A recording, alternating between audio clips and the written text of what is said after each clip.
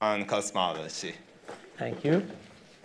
Thanks, uh, thanks very much for the invitation to give a talk in this uh, uh, very memorable place for me, namely the ICTP, and in particular the uh, summer school on cosmology. The first time I came to ICTP was in the summer school for high energy physics. Back then it was like two months long. It's a bit shorter now here, but um, that included all high energy, meaning cosmology, particle physics, everything, quantum field theory, everything we had. Anyhow, a, it always brings back good memories for me to now being giving a lecture here uh, uh, for the students. So this is my assumption is that this is for the students who want to you know, participate in the summer school for cosmology. So my talk is going to be a review for geared towards the students. I apologize to experts in the audience. It's going to be mainly geared towards a review uh, for the students. And as such, please do feel uh, to, uh, okay to interrupt me. That's the whole point of the school, I, I hope it is. So it's informal talk, so I welcome questions at any moment. Okay, um, having said that, so I'm going to talk about the interplay between the cosmology and the swampland program.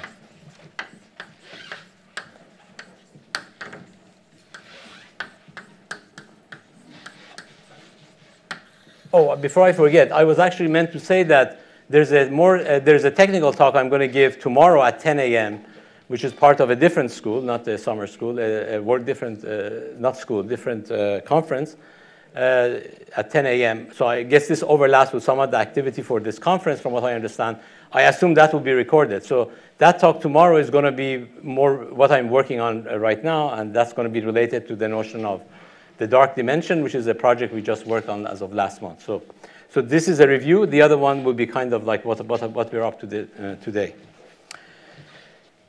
Okay, um, so, so to try to say what's the relation between cosmology and the swampland, uh, I assume you all know uh, bits about cosmology, and perhaps you're less familiar with the swampland program. So I basically start with telling you what is the swampland program.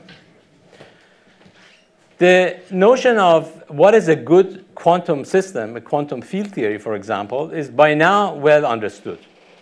We start with a kind of an action, and the action could depend on a bunch of fields, could be a bunch of uh, gauge fields, it could be a bunch of fermions, could be a bunch of scalars, and uh, it could be some bunch of coupling constants which define, which go into defining this action. So we start with the action, and we do the usual path integral with integrating over all the space of fields. And we hope that this makes sense.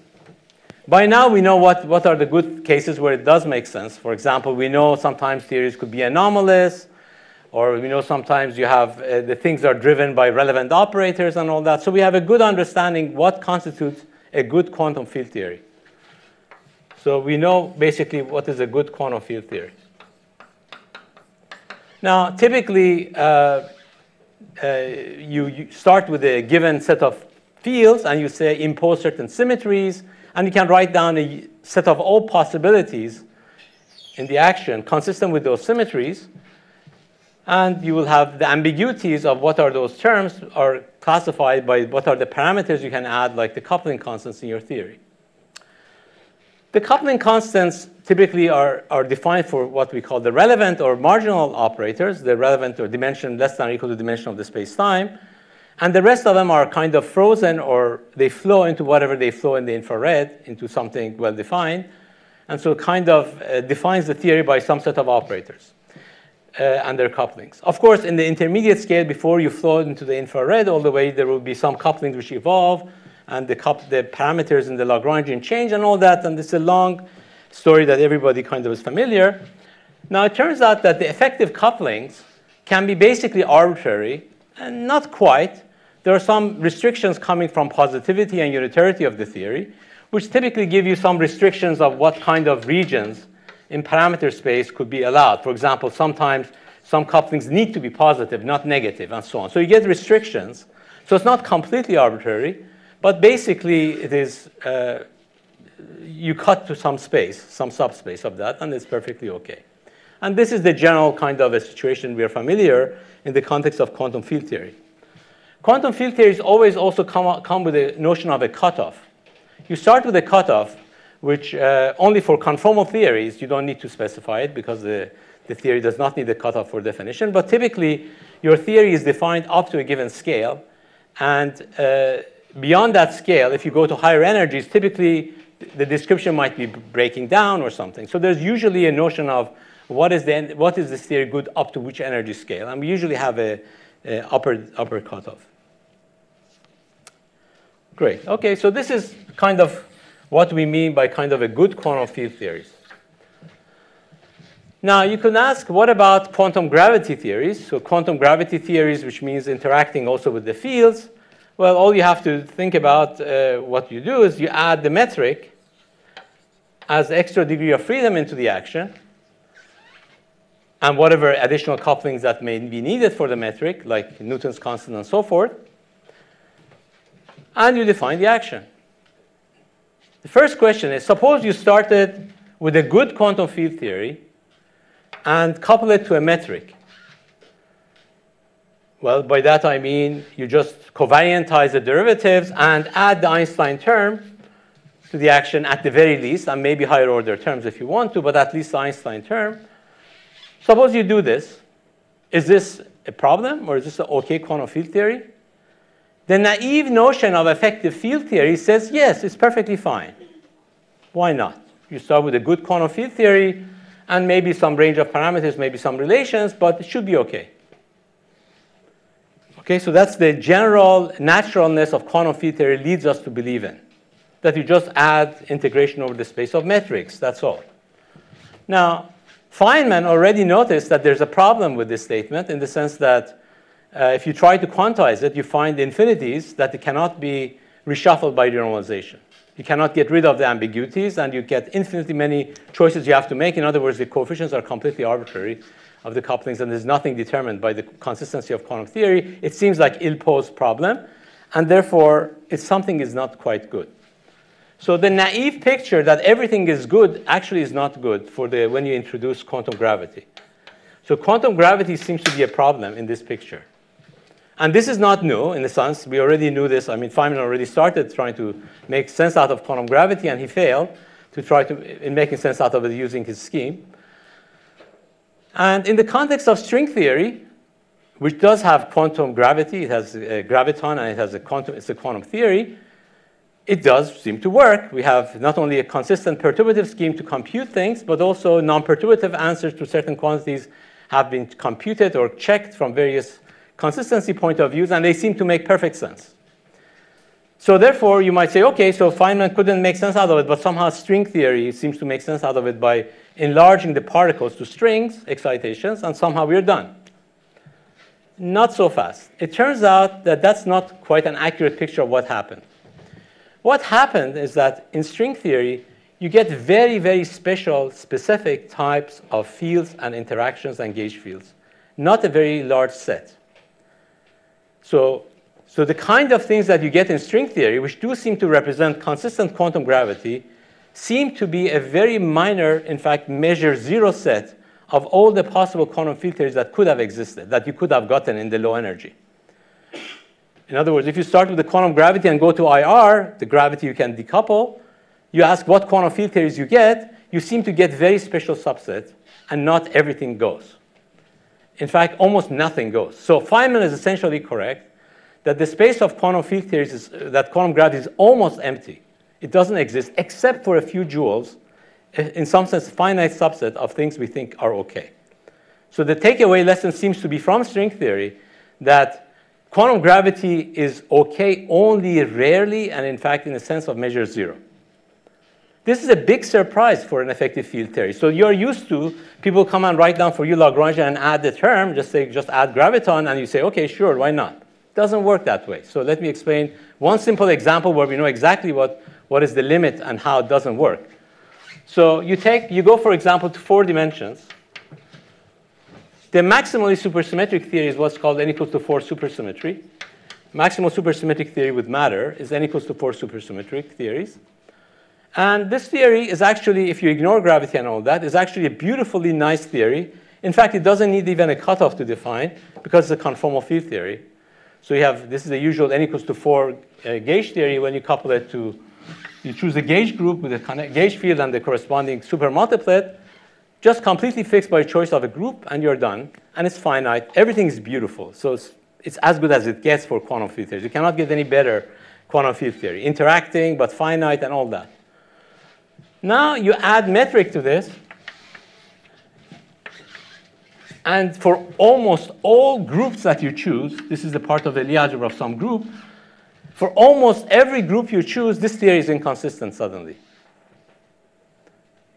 This theory, which is the beautiful theory, which is a finite theory, which is all these nice properties, breaks down.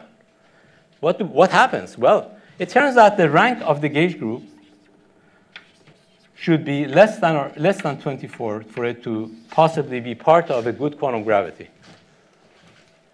So you take SUN. If you take SU24, you're okay. SU23, you're okay. So rank less than or equal to 20, less than or equal to 20. Uh, sorry, rank less than less than or equal to 20, 23. So so for example, SU24 is not good.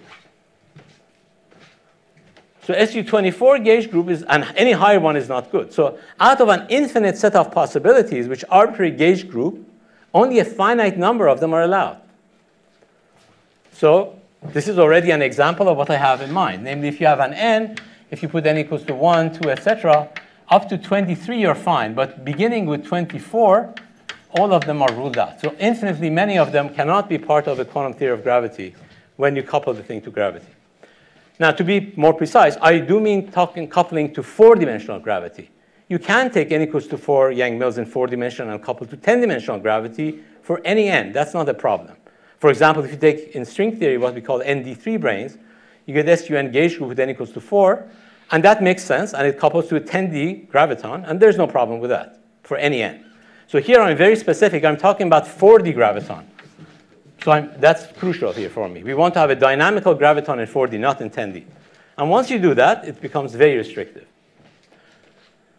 Now you might say, why is it restrictive? You can take you know, 10 dimensions, put it on a torus, it becomes 4D. What's the big deal? In that case, if you would n d branes, the d branes from the viewpoint of the internal space looks like point charges in the internal space. And point charges cannot exist in a compact space. So as soon as you compactify the extra six dimension to torus, you're in trouble. So what you can do in string theory is we do things what's called orientifold and all that, which creates a background negative charge for branes. So you can put D3 branes up to a certain number, and that allows you to get the finite number we are getting. So basically, all of them are ruled out except a few one, following from charge conservation and the fact that the charge in a compact space is zero. That's the, that's the reason, actually, how it comes about.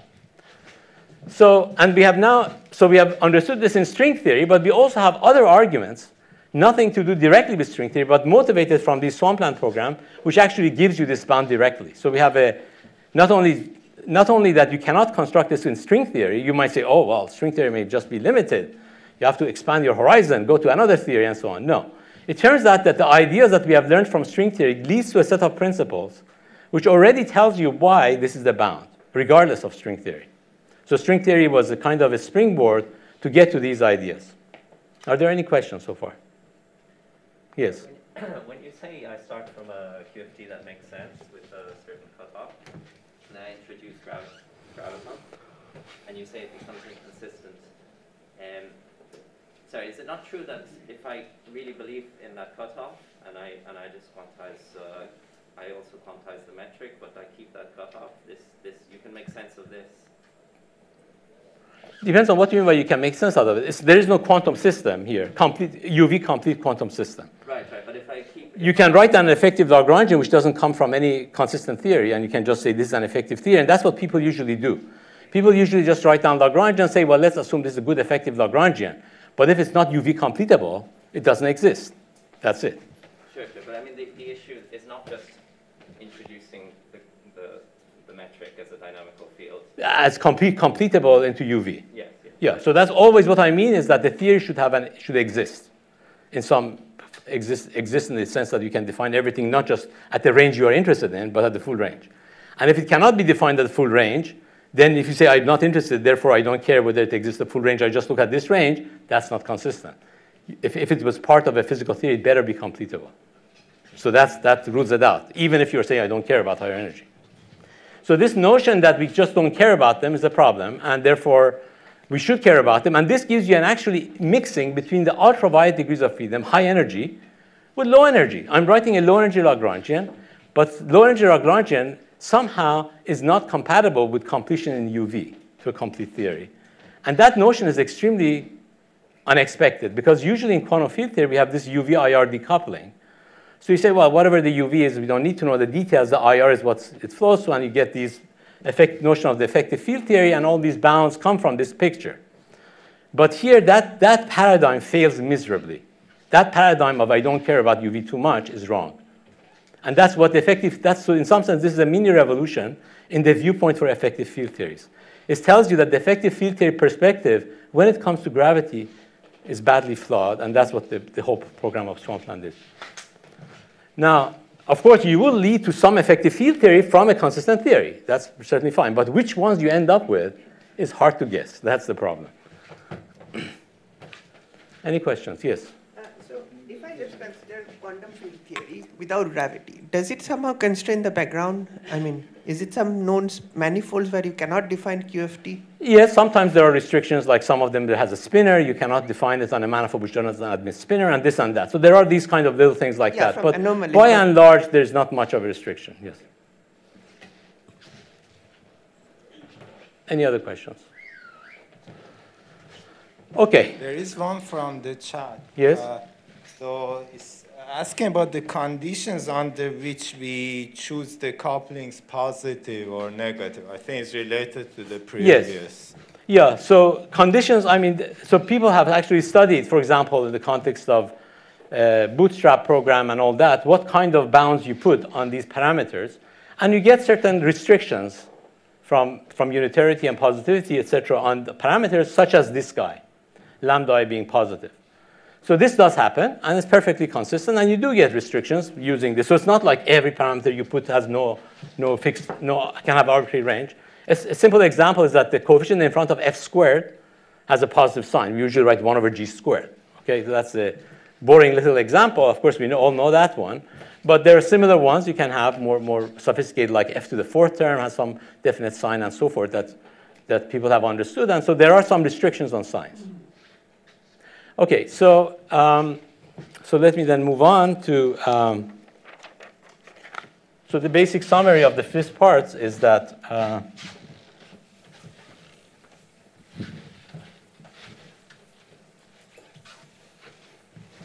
is that there is a space of all effective field theory, effective theories, and then there is the subset of it, which are the consistent effective field theories without gravity. And then you can ask among these, which ones can be couplable to, to, uh, to a consistent, consistently to gravity. And typically we expect this to be a finite set up to a given cutoff, that is. If you fix your cutoff, you get land in a set of a finite number of possibilities in the effective field theories. So these are what we call the string landscape, or quantum gravity landscape more generally. And the rest of these, the good quantum, the good quantum field theories, which are not consistent when you couple to gravity, we, get, we say it's part of swampland. So, so given this structure, you might ask, what are we supposed to do to find these points? To find the point is very difficult because a point is measured zero in that space. So it's very difficult to say, to bound it, to say it's right there, because you have to know exactly what it is. However, it's easier to say what is not a good point. It's much easier to say, for example, this is bad area, right? So you could say, say kind of like cut off like this, okay, this region is bad or that region is bad and so on. So the swampland program is to trying to find these constraints that say what are the bad theories, because it's much easier to characterize bad versus good in this picture. Otherwise, to say exactly what is good is much harder. So the swampland program is to find these conditions as much as you can to try to narrow it down. It's going to be, of course, extremely difficult to get to a point, but at least you can do some subsets like these. It's somewhat similar to this island program in the context of the bootstrap, where you know you try to cut down the parameters and zoom into a conformal field theory parameters by putting some constraint based on these uh, conformal bootstrap techniques. And this is in some sense like the analog of these points, which are these particular islands that now narrow to down just one point. Any questions? Yes. Yeah, I have a question about the finiteness of the landscape. So, in the uh, uh, first realization of ADS-CFT, where uh, we have uh, n d3 branes, and the large limit, obviously, uh, I mean, that's part of the string theory landscape. But then we can take n to be arbitrarily Yes. large. So, uh, how is that commensurate with the Yes. finiteness of the landscape? Good question. So there was a there was a word I added in the middle of the sentence said with a given cutoff. I see. So with the, what happens in the example you just said is that the, there will be lights. So if you take n to be very large, hmm. the ADS 5, for example, times S5, the 5 sphere gets bigger and bigger and bigger. You get KK modes whose mass become ah. lower than your cutoff no hmm. matter what cutoff you choose. So if you fix the cutoff, you have gone, you're not allowed to go to arbitrarily large n. I You're see. cutting it off. So the, we expect that with the give, up to a given cutoff, there's a finite number of them. That's, that's the correct way of saying it. I see. Thank you. Any other questions?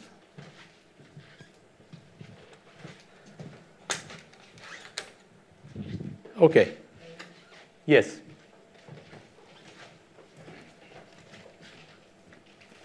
I was I was thinking if if we are looking for measure zero points, even if we reduce the space in which we are looking for those, we still need to know exactly where they are to to find them, right? If So- you want to find everything about them, you need to know everything about them. It's very tough, of course. Yeah. But, but we may not need to know everything about them. The question is, what do we need to know about them? So, so that's the part of it that, so some things we don't, for example, in the actual world, standard model that we have, we don't need to know everything. For example, there are these higher dimensional couplings and operators and all that. We, don't, we haven't measured their coefficients yet. And we may not need it for experiments today, but there are a few things that we know. So could we explain some of it, like, like these? That's the kind of a hope. And tomorrow I'll try to argue in my talk that indeed, with, the, with the, some of these ideas, we can actually narrow down a few things which actually be, has experimental consequences. So it's very specific, very specific kind of points you get without knowing exactly which point it is. Okay, thank you. Okay. Um,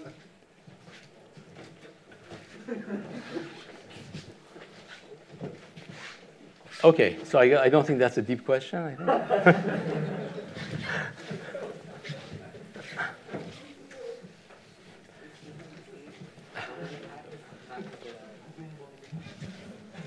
okay, so fine. So I think I, I think I have already spelled out what do we mean by this program. And uh, now I give you some examples of what are the swampland criteria. Some of them, I, I won't have time to really cover it uh, comprehensively. So some examples. So for example, one example is that, one statement is that there are no global symmetries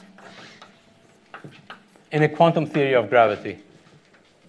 You know, something as simple as that, there are no global symmetries, you might think, why not? I mean, if you take n fermions and there are the rotational symmetry, SUN symmetry between them, what's the problem with that? It's just not possible.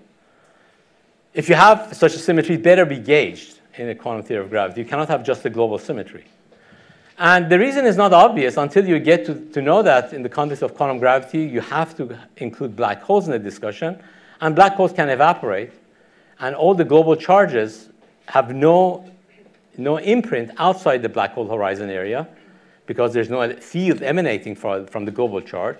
And therefore, a, a charged under global symmetry black hole and an uncharged one look identical. And the phenomenon of black hole evaporation basically gets rid of all, the, all of the black hole.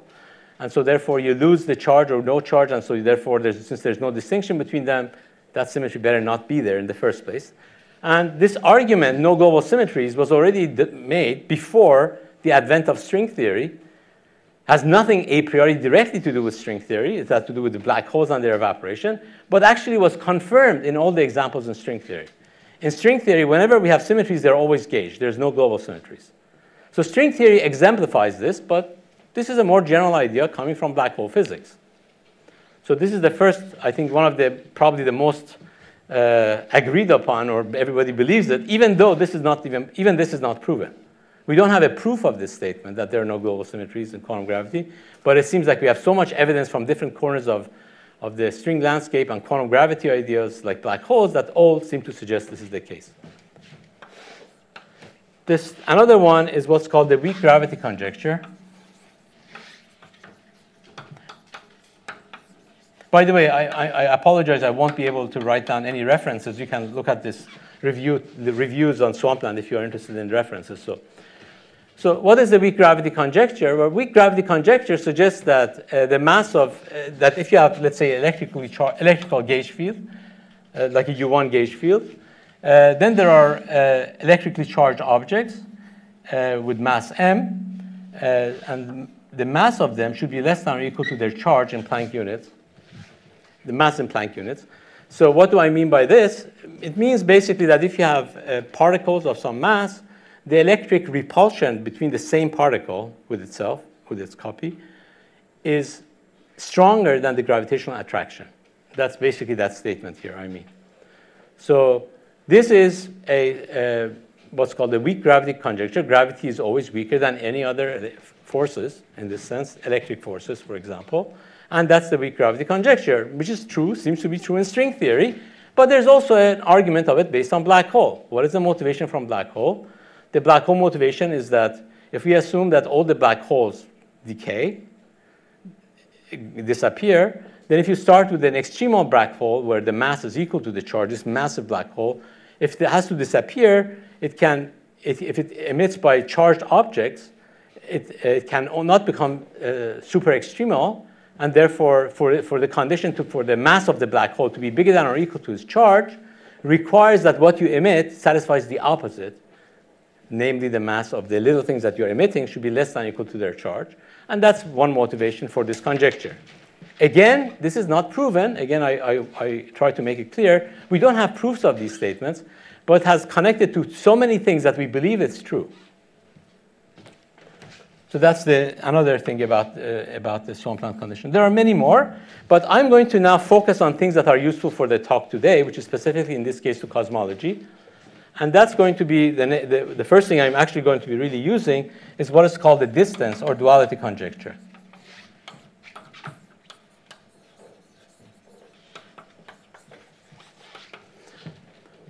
This is by far the most, in my opinion, the most non-trivial uh, statement in the swampland program.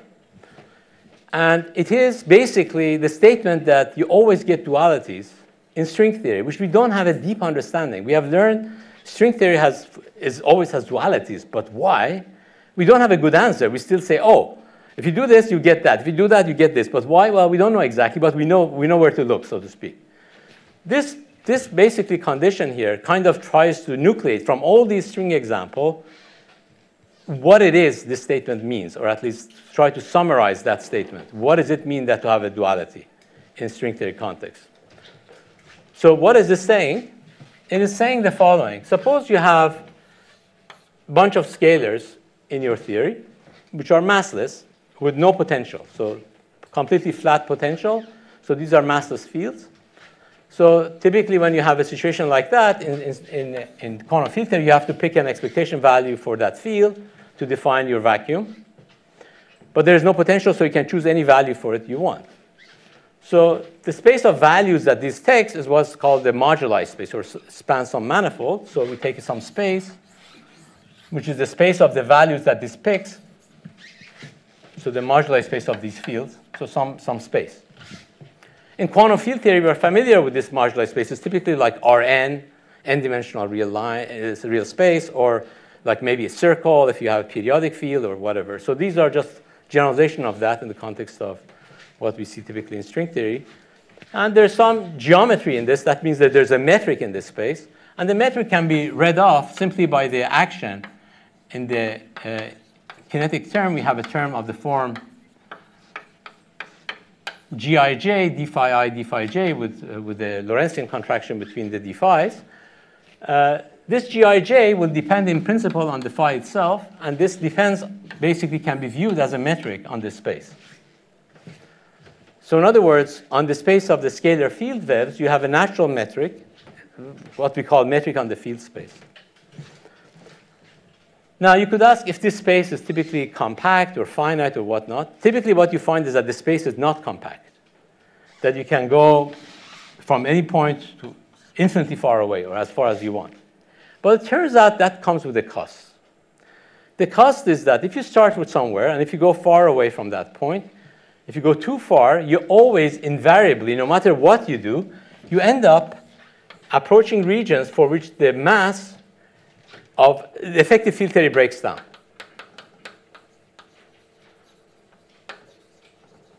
This is a very important statement. That is, there is no example in string theory for which we have a parameter space like this, for which the effective field theory does not break down somewhere. You don't have a complete field theory.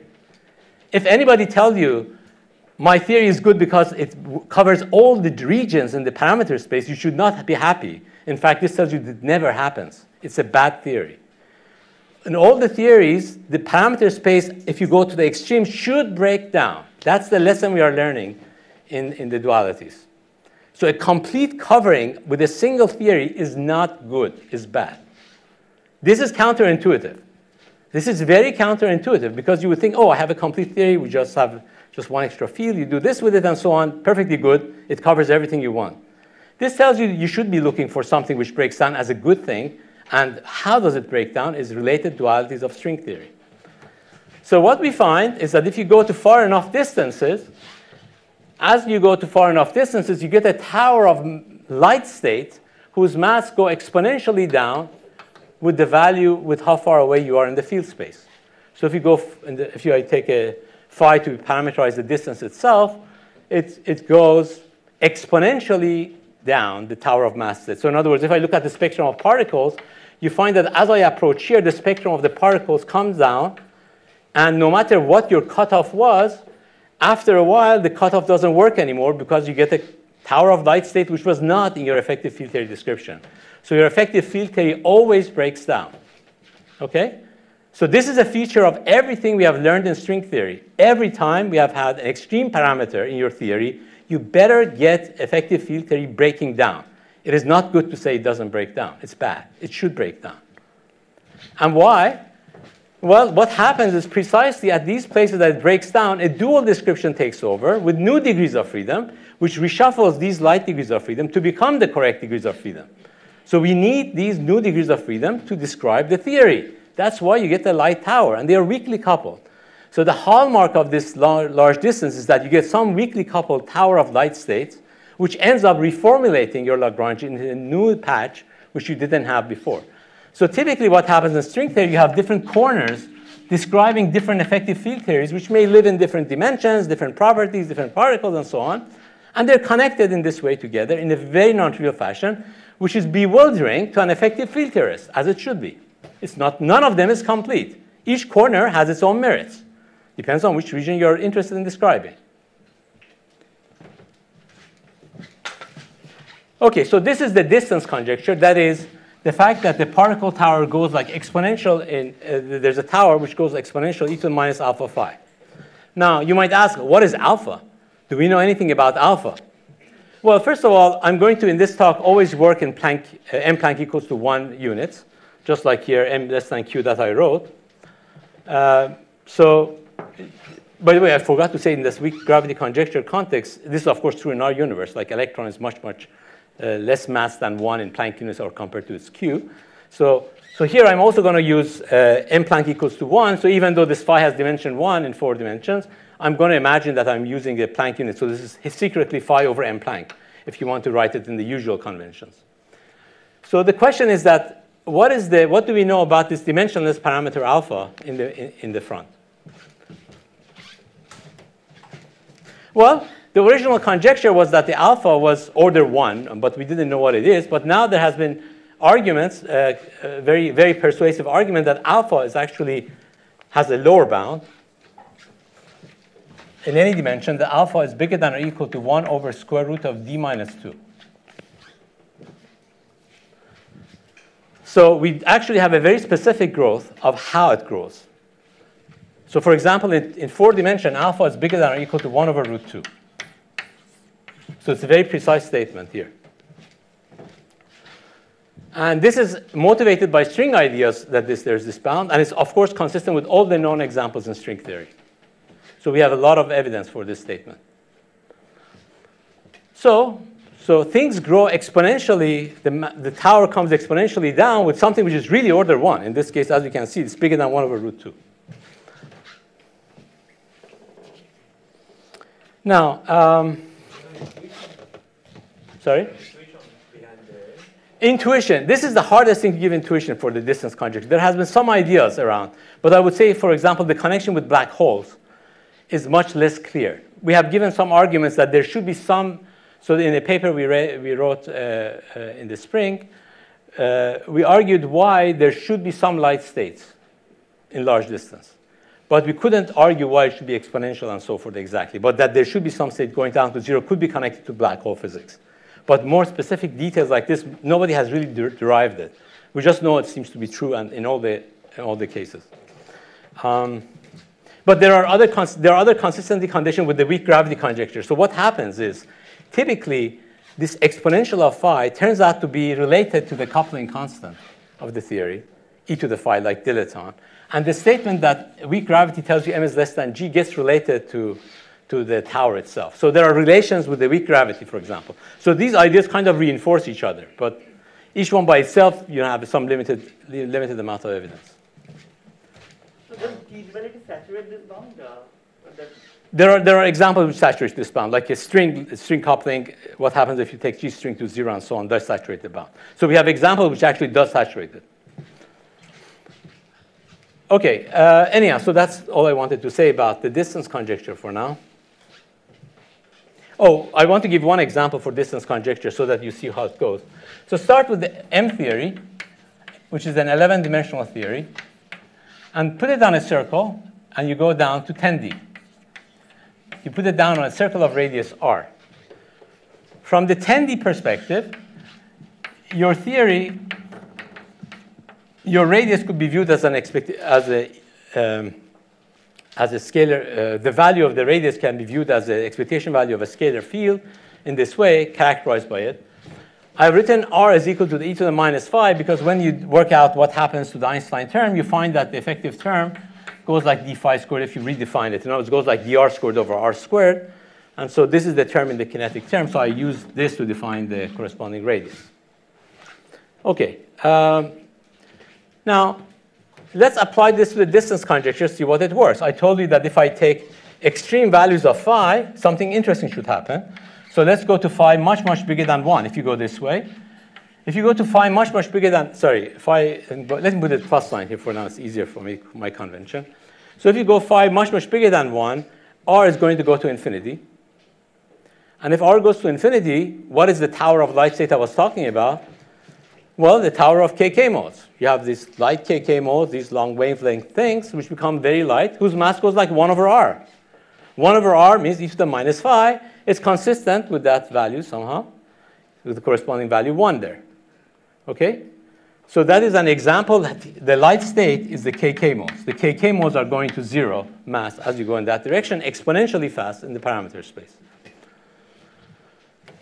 Now, suppose you go down the other way. Phi goes to minus infinity. If phi goes to minus infinity, that's also infinite distance away. And you expect a tower of light states. And in this case, radius is going to zero. If this was a usual effective field theory, when you take the radius to zero, it basically gives you the dimensionally reduced quantum field theory because the KK tower are becoming extremely massive. You throw them away, and you say the theory is easier. You just throw away all these dependence on the extra coordinate. This turns out to be false.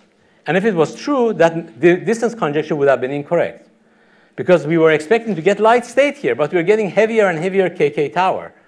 What happens in M theory is that you indeed do get light states, and the way you get light state is because you get membranes wrapped around the circle, which give you a light string as the radius of the circle wraps, wrapped around goes to zero size. The tension of the string goes to zero.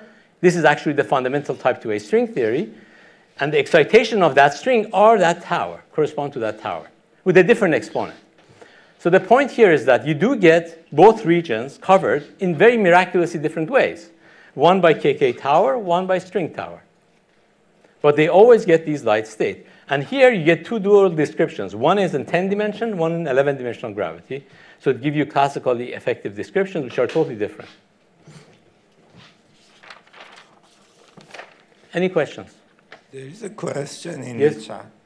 So they are asking, can we have weakly coupled strings at infinite distances? Yes, the string coupling is basically at infinite distance. Namely, you take G string, if G string goes to zero, that's a weak coupling, extreme weak coupling, and that becomes, as G string goes to zero, this distance goes to infinity. So it's indeed, what, when we talk about weak coupling string is at infinite distance. Strictly speaking, G string equals zero is infinite, far away. So we usually, usually don't put zero, we just put epsilon. That means it's far away, but not infinitely far away.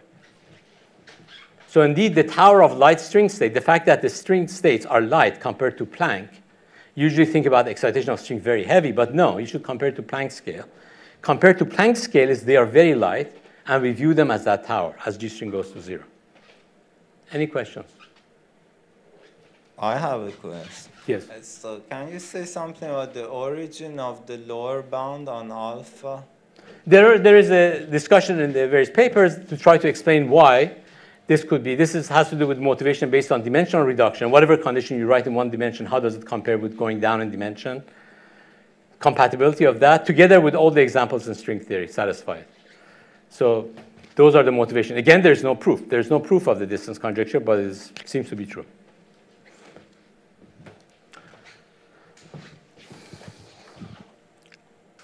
Now, um, okay.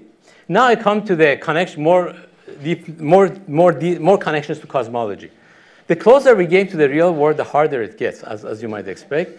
And evidence gets less, unfortunately. So we're going to become a little bit more, uh, less certain about what we are going to say, but I'm going to tell you what we think is true.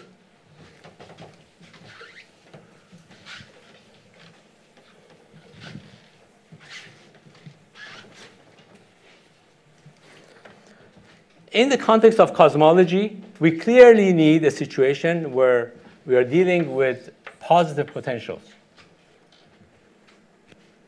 Why? Well, dark energy is one example. It's positive. It's measured to be positive, so we have to deal with this. Other motivations, well, in the context of inflation, you have to be falling down to the positive one, so you start with positive one in the context of inflation as well. So uh, Anyhow, so you really want to understand the situation, what you need to know about positive values of potential. What do we know about this situation? Why am I distinguishing this from negative? You might say, well, it's just a sign, plus or minus. What's the big deal? Just put it in your theory. Your theorists always put plus or minus sign ambiguities anyhow.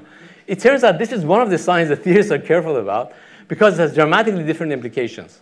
The negative is well understood, huge landscape of understanding of examples in string theory. ADS-CFT that you may have heard about is in the context of negative cosmological constant, for example, a situation where you have some fields, for example, the radius of the, of the corresponding internal dimension, and in terms of that, the potential will have a minimum, which is at the negative value. Okay? So we are familiar with this situation, and there's a huge amount of examples.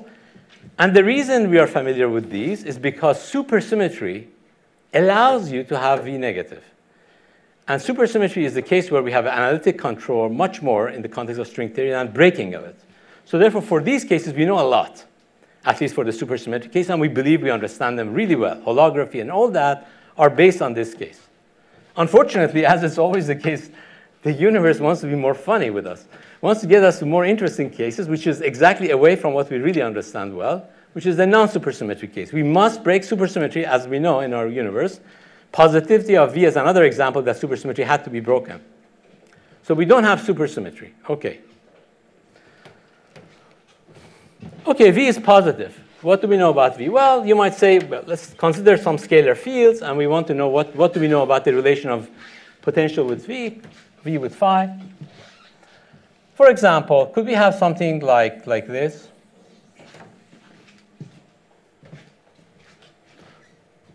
Why not? You might think, just draw it. it looks good to me. What's the problem? This is the prob first problem. This is a problem that every string theorist agrees can never happen. What do I mean by that? Well, by that, I mean that if you go infinitely far away in the field space, the potential should always go to zero.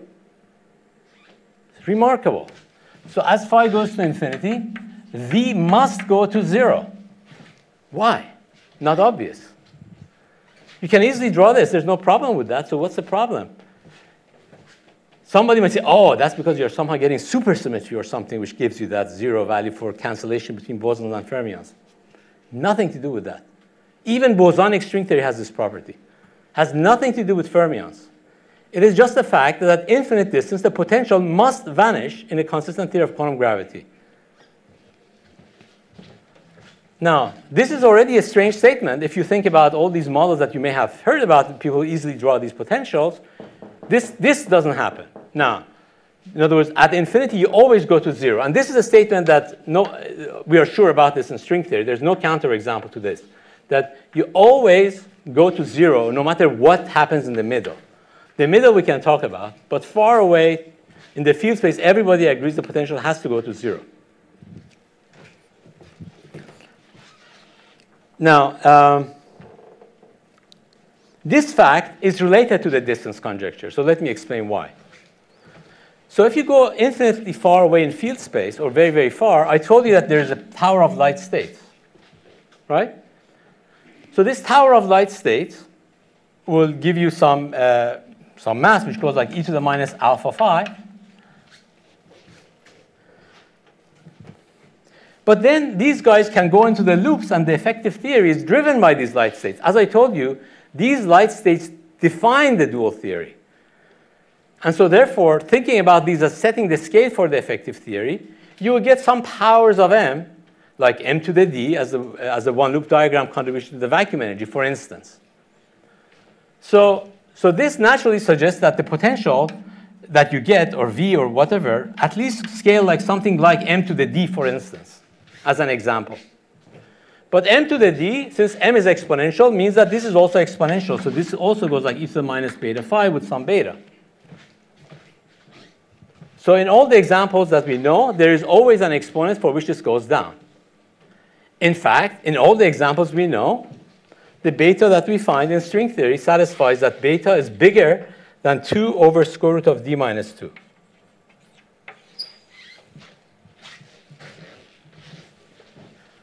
In other words, far away in field space, the slope, the, or logarithmic uh, derivative of the slope, always has a bigger slope than, than this, 2 over square root of d minus 2. In other words, in four dimension, beta is bigger than root 2. Bigger than or equal. Okay, now why? We don't have a proof again, as I said. We don't have a proof, but in all the construction string theory, we can break supersymmetry. We can, but when we look at far away in the field space, whether it's this radius, whether it's coupling constants of string theory or whatnot, we find it always has a big slope. And moreover, the slope is always bigger than this value. This value turns out to be precisely the value for which forbids inflation at far distance space. Just happens so. Why? Don't ask me. This is the case. This is exactly the value. If you said, I want to have a flat enough potential, this should be, this is precisely the borderline with possibility of having inflation. So that means inflation cannot happen because the slope is too steep at far enough in distance. In other words, the parameter corresponding to the, for example, the inflation, the slow roll parameter, which is 1 half v prime squared over v squared in Planck units, is equal to, is bigger than or equal to 1, according to what I'm saying here,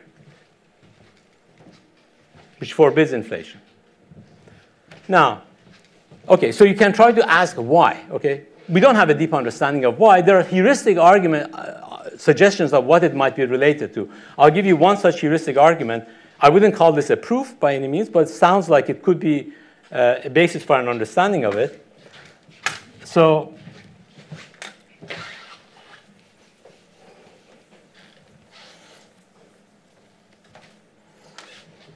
So it turns out that the situations, if you had something which was kind of like a constant potential or something like a minimum, you would typically get a situation like a, um, if you write a homogeneous cosmology, you will get something like this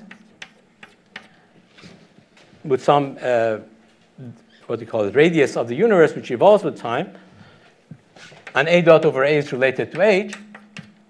Let's suppose we are having a situation where this is not actually sloped at all. Let's just say it's flat or just something like a minimum and so on. Well, you can compute this and you get a is goes like e to the t. I'm not being careful with factors of uh, factors of two or three or whatever, but something like e to the ht. And um, okay, so what? Well, there is something strange about this. If, it, if this kind of universe actually exists, there's something strange. And what is strange about it is the following. This space, this uh, dilation happens to all the modes and stretching of all the modes, as we know. But also, if you're in a situation where, they, where you have some kind of a potential, like uh, some kind of a Hubble parameter like h, the scale of the universe itself, there's a horizon in the observable universe, which is itself given by the inverse of the Hubble scale. So there's a length of the universe, which is 1 over the Hubble, which you don't have access to. You only have access to inside the Hubble horizon. But what happens with this expansion, inflationary expansion in this form, is that sub-Planckian modes, if you wait long enough, will cross the horizon and go past the horizon that you could measure. So, so this is the statement that if you take A final over A initial times L Planck, if this is bigger than the Hubble horizon, you will have a Planckian mode becoming bigger than the whole horizon, observable horizon. This sounds a bit strange because sub-Planckian modes are supposed to be not measurable or observable as physical modes. And somehow they now pass the horizon and freeze out in a way which is a bit classicalizes in a form which is a little uh, uh, reminiscent of what one studies in the context of inflation. And in that context, if you look at this formula, it will tell you that if you look at A final over A initial, it tells you that e to the h times the total time from the final to the initial. If I take L Planck to be, I mean Planck units 1, this is bigger than 1 over h. That means that when the time is bigger than 1 over h log 1 over h, of the time scale of the order of 1 over h times log 1 over h, this will cross the horizon, and this shouldn't happen. Okay?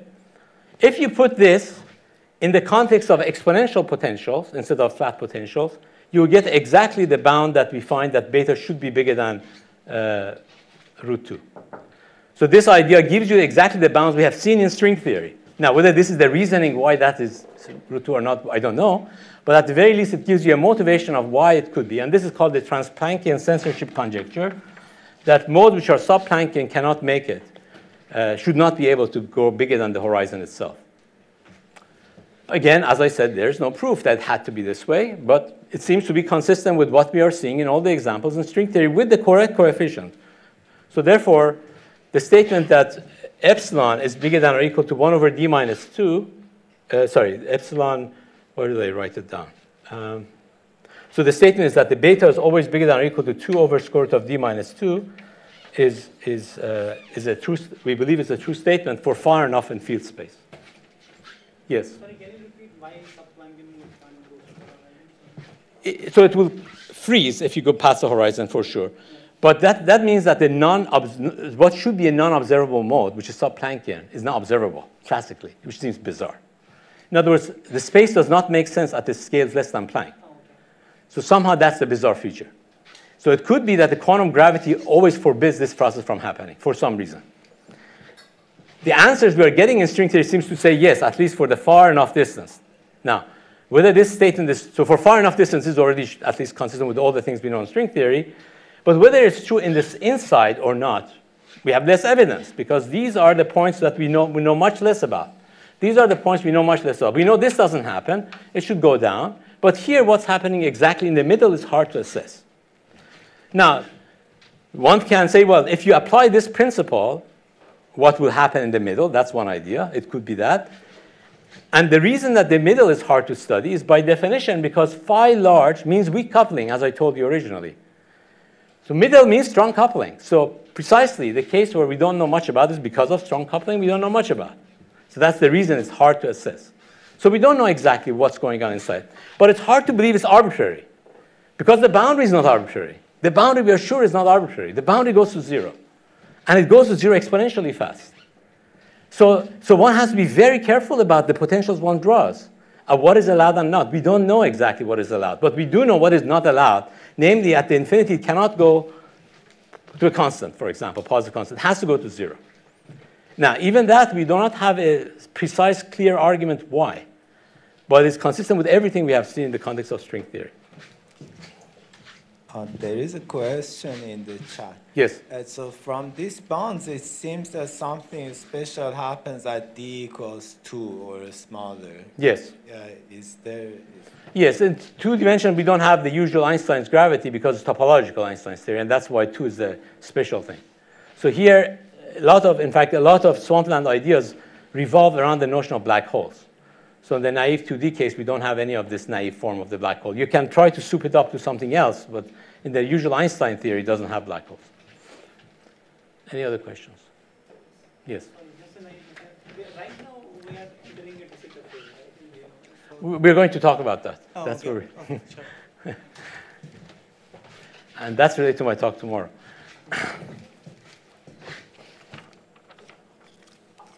But before I do that, I want to go back to the early universe. The talk is till when? Uh, is it one hour or? uh, no, you have more. 15, Okay. 15 more. Okay, thanks.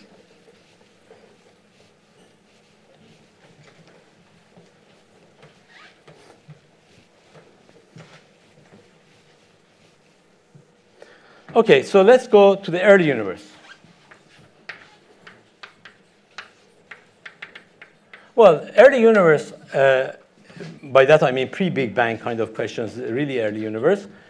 Uh, we know that there are a lot of puzzles there having to do with um, for example, start with the horizon problem that if you look at the CMB, if you look at this part of the sky versus that part of the sky, if you, in the context of CMB, they will have no time to connect to each other, but yet we measure the same temperature. How come?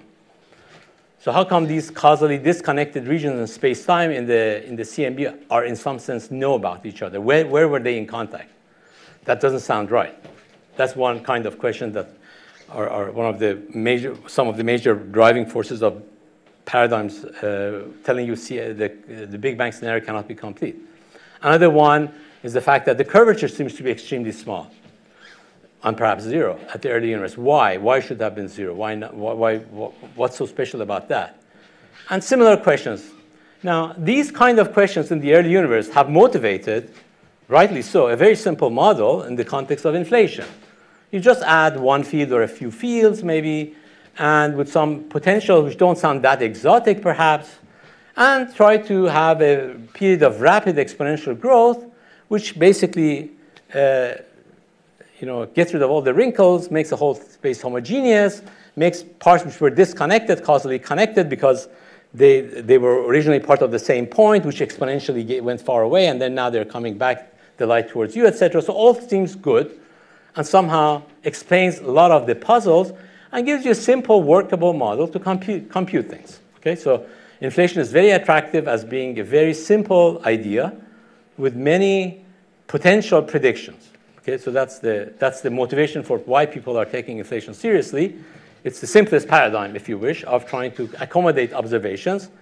Uh, and so some of them, in fact, pre, pre uh, model was, was not, for example, the fact that the omegas add up to one was something that was predicted by inflation and was confirmed by experiments. So it was kind of prediction.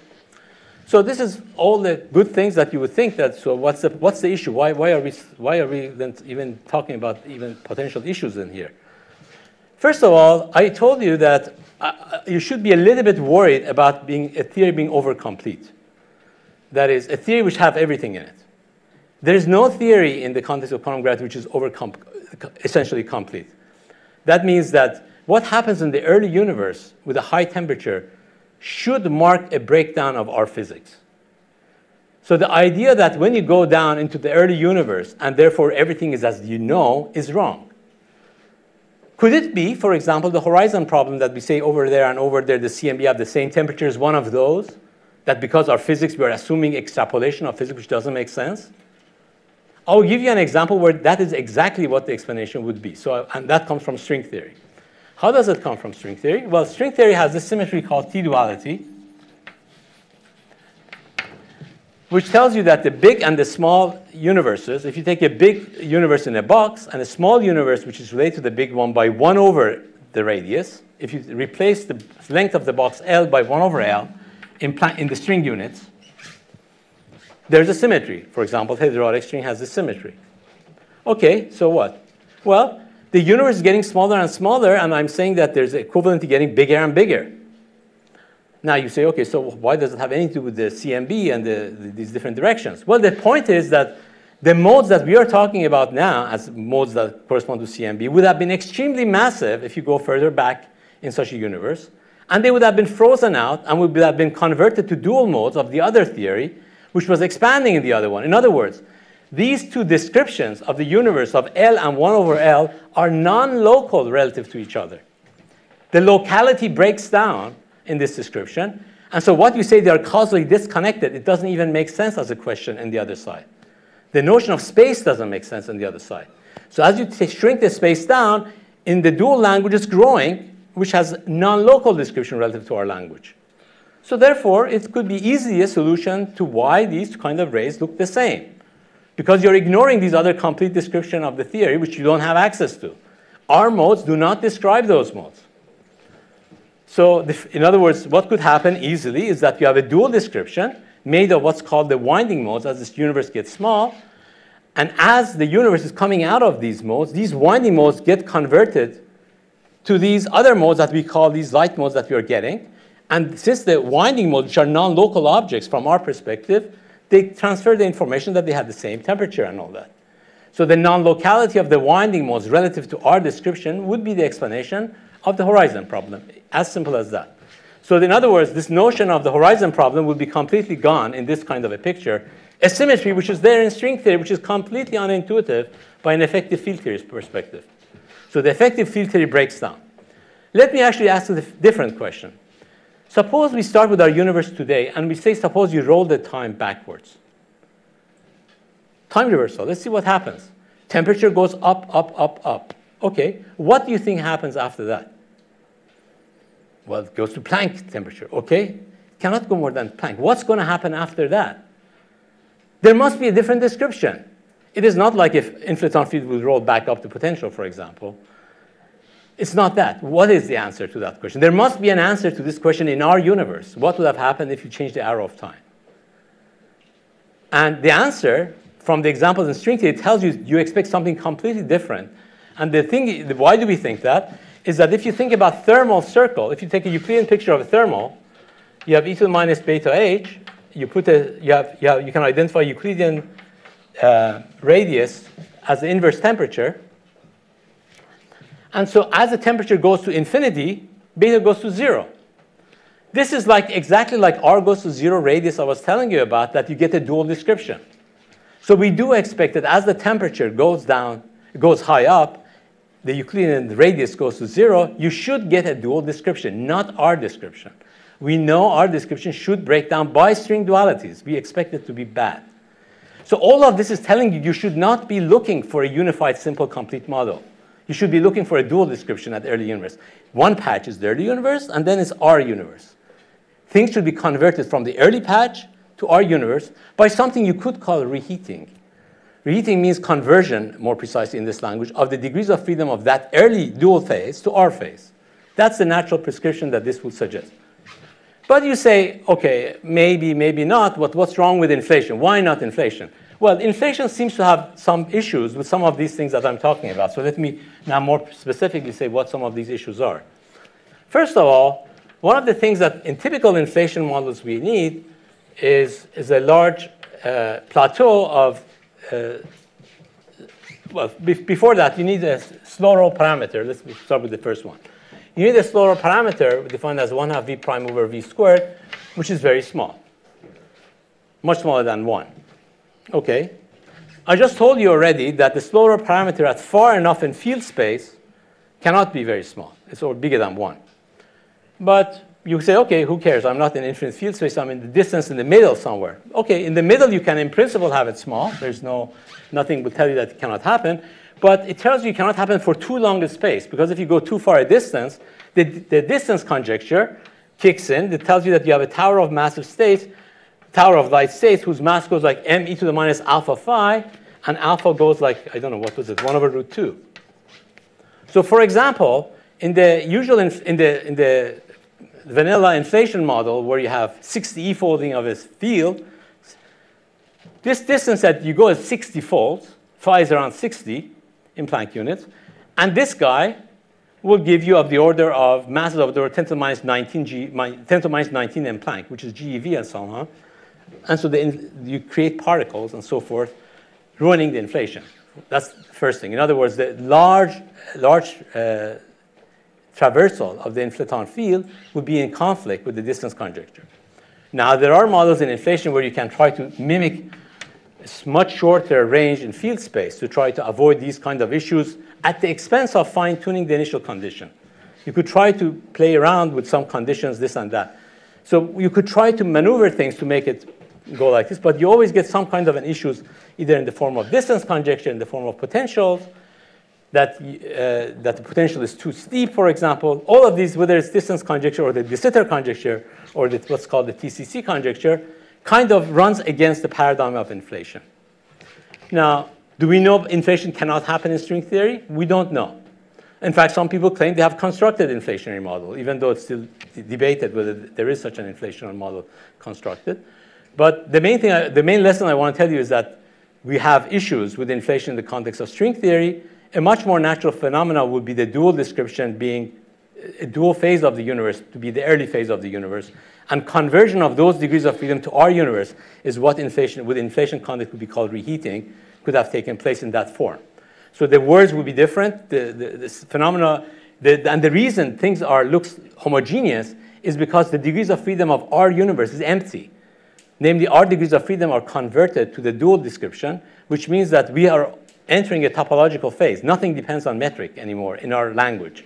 So the homogeneity and all that will be automatic, obvious consequences of that statement.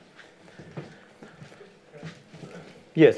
To be a little bit clear, so you're somehow suggesting that the early time would literally be described by time-like T duality somehow universe.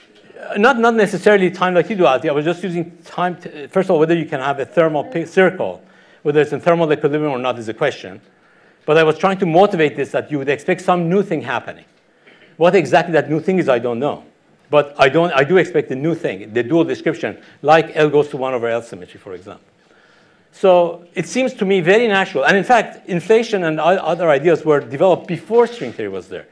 I would imagine that if the reversal order was reversed, if we had string theory and people brought inflation later on, people would ask these questions much more vehemently. But inflation had been set in much before inflation was, uh, string theory was brought into the game. And I think this brings a question mark relative to what, what we should think about inflation. Um, and now let me just, in the last five minutes, let me move to the, to the question about what happens in the context of the future of the universe and the dark energy, which is actually related to my talk tomorrow at 10, which is, uh, which is actually probably the, uh, well, I will just give you a basic synopsis of what that is. So this picture, if you take, if you take this conjecture seriously, the TCC, Trans-Planckian censorship conjecture, that you cannot take Planckian modes and make it too big, you learn that the age of the universe cannot be bigger than 1 over h log 1 over h. It should be less than that. And if you put the Hubble parameter and so forth, you get something like 2 trillion years in, in our universe. So be, at most, a factor of 100 in age of the universe would be left over in this kind of scenario. There should be some kind of a decay. Whether or not, whether or not we have a potential like this, with a metastable minimum or not, or whether you have some kind of a point where the potential becomes a little flatter and so on, we don't know.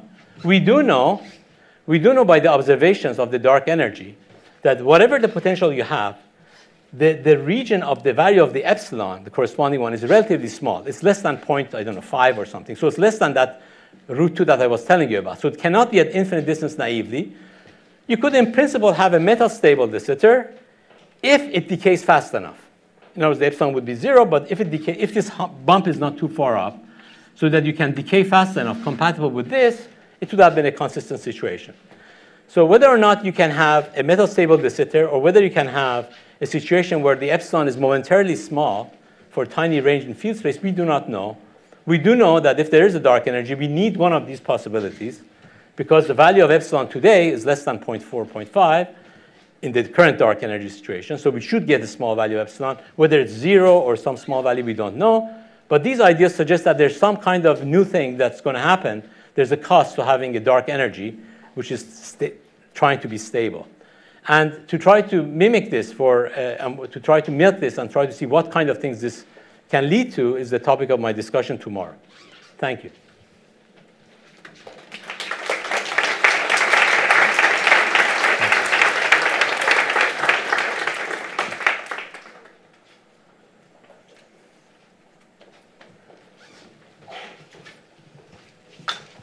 So yeah, how, do you describe the CMB power spectrum and the almost uh, flatness and a bit red spectrum that we have? Yes. So there is a there is a that's a good question. So the question is how do you explain the flatness of our universe as well as the tilt, the infrared tilt of the scalar fluctuation spectrum.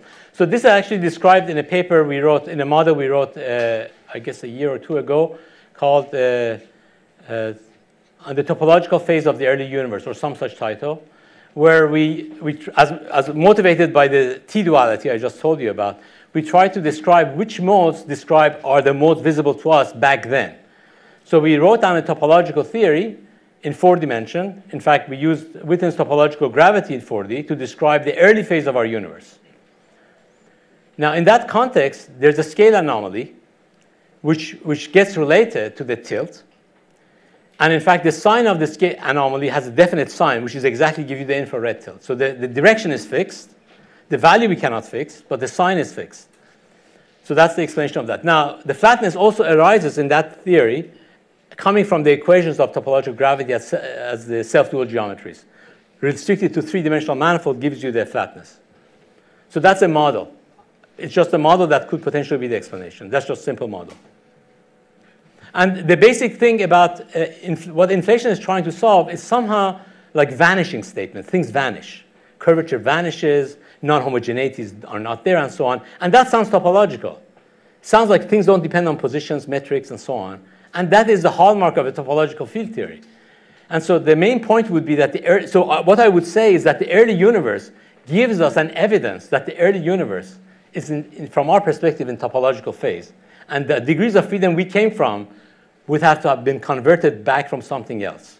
That's the way I would say it. That piece of it is common with inflation, that is conversion, which is called heating in the context of inflation. But the reason for why you got homogeneity or why you get this is different, very different.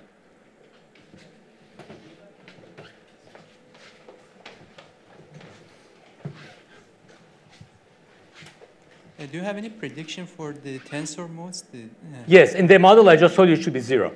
R should be zero. So in other words, we do not expect gravitational modes because gravity is not dynamical in that phase. And for non-Gaussianity? Non-Gaussianity, in that model, we, we, we computed the four-point function within that model, but that's, and it's not zero. But, but uh, that's just a model, so I'm not sure if that's the correct model for our universe, but there's no reason it should be zero. So non-Gaussianity, I don't know. It could be non-zero. In that particular model, we computed the exact a specific form for the, we got it actually, the 3.1 vanished, but 4 point was non-zero. But in general, that's just a model. There could be modification of that topological gravity. So I'm not sure about the exact form, what it could be. But, uh, but the statement that there should be R should be zero is a prediction.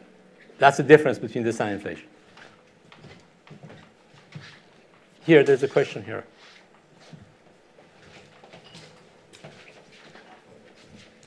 Uh, if we go uh, too far back, uh, then the temperature goes up, and if uh, it hits the Hagedorn temperature, there will be some characteristically stringy phase transition. So, uh, can there be some signature of the uh, Hagedorn transition in today's universe? Uh, Well, Hagedorn tra- transition is, is uh, usually in the context of string dualities, holography is res- related to confinement to confinement phase transition.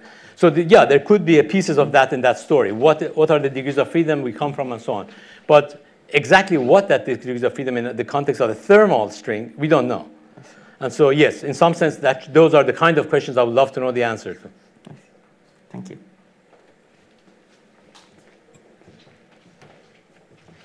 So in there, uh, you talked about the 60 folds of inflation, but uh, I mean, E folds depend on the reheating temperature. So is it is the, does this problem persist for all range of possible reheating temperatures? All.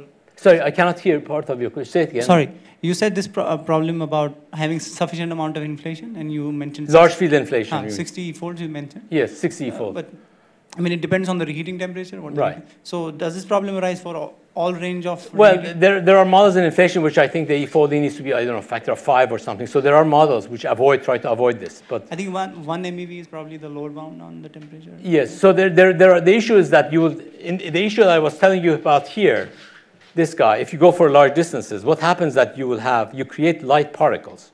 So that will slow down the inflation period. So that's not what you want. This is bad for inflation. This, the tower of states is bad. And I mean, the fact that this is very fine-tuned for inflation, had people, people had mentioned without even swampland, trying to write an effective filter with such a potential sounds a little strange. And people had argued that this is a bit strange, but here this is a quantification of what, what, what, what you run into.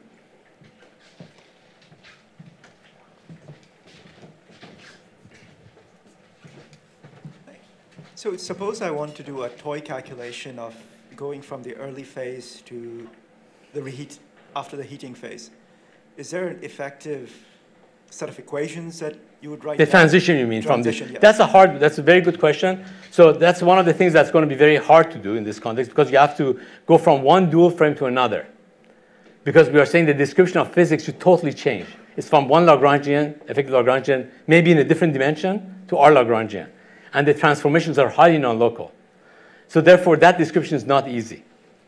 That's going to be, that's going to be hard, but that's what we expect in this context.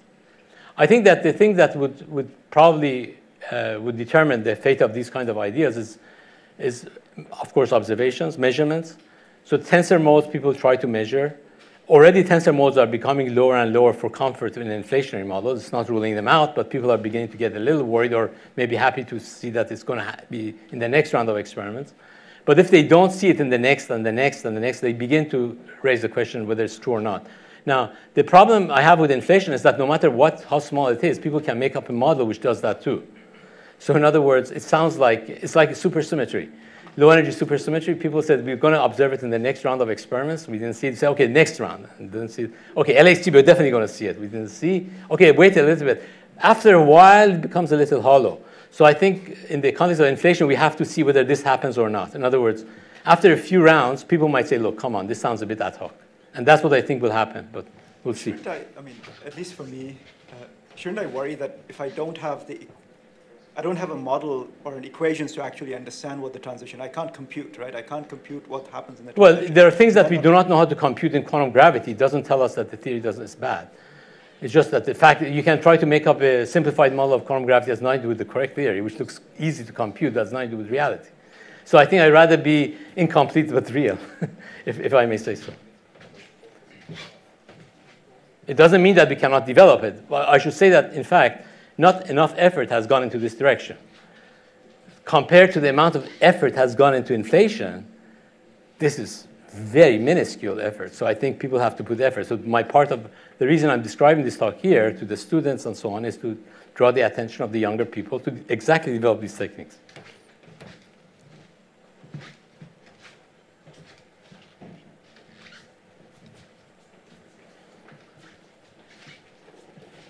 Uh, using your description of the universe, uh, in the paper, could you manage to derive uh, the pulse spectrum of primordial curvature perturbations? Or, or not? The what perturbation? The pulse spectrum of primordial curvature perturbations. What perturbation? Curvature. Yeah, perturbations. so uh, details of the calculation would require knowing much more about the details in that region, which is not easy, as, as was, I was answering the question. But gross features, like I, I just answered, like non-Gaussianities and all that, you can try to explain. Uh, like the tilt, you can try to explain. So some features of fluctuation, you can try to explain. So those things you can. But we cannot explain everything yet because we need to know more, more detail about that. Uh, so it is still far away from being tested with real data, right? It's far from what? From being tested with real data. Well, no, there's a testable data. R being zero is very testable. I mean, if you measure the, non, the, the tensor modes being non-zero, you have disproved the theory I just told you. It's very easily testable. Unlike inflation, which uh, no matter how small you get an R, you cannot rule it out because you can write a different potential. so you have too much freedom in that story. There are some questions in Zoom. Let me try to.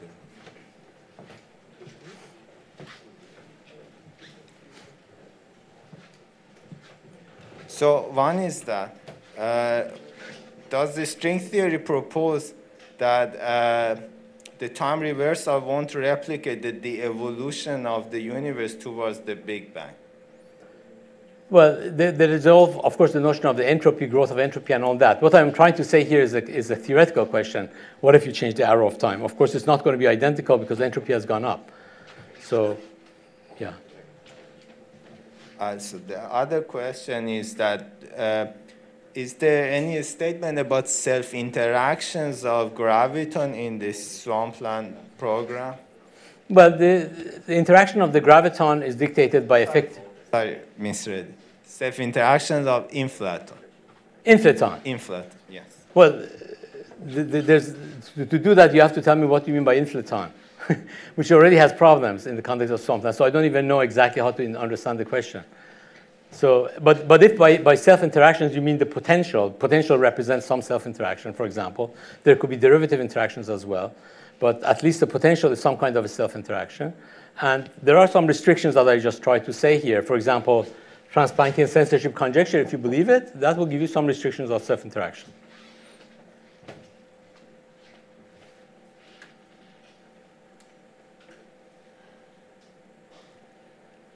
Okay. So perhaps we can thank Cumrun Thank again you. for the nice talk.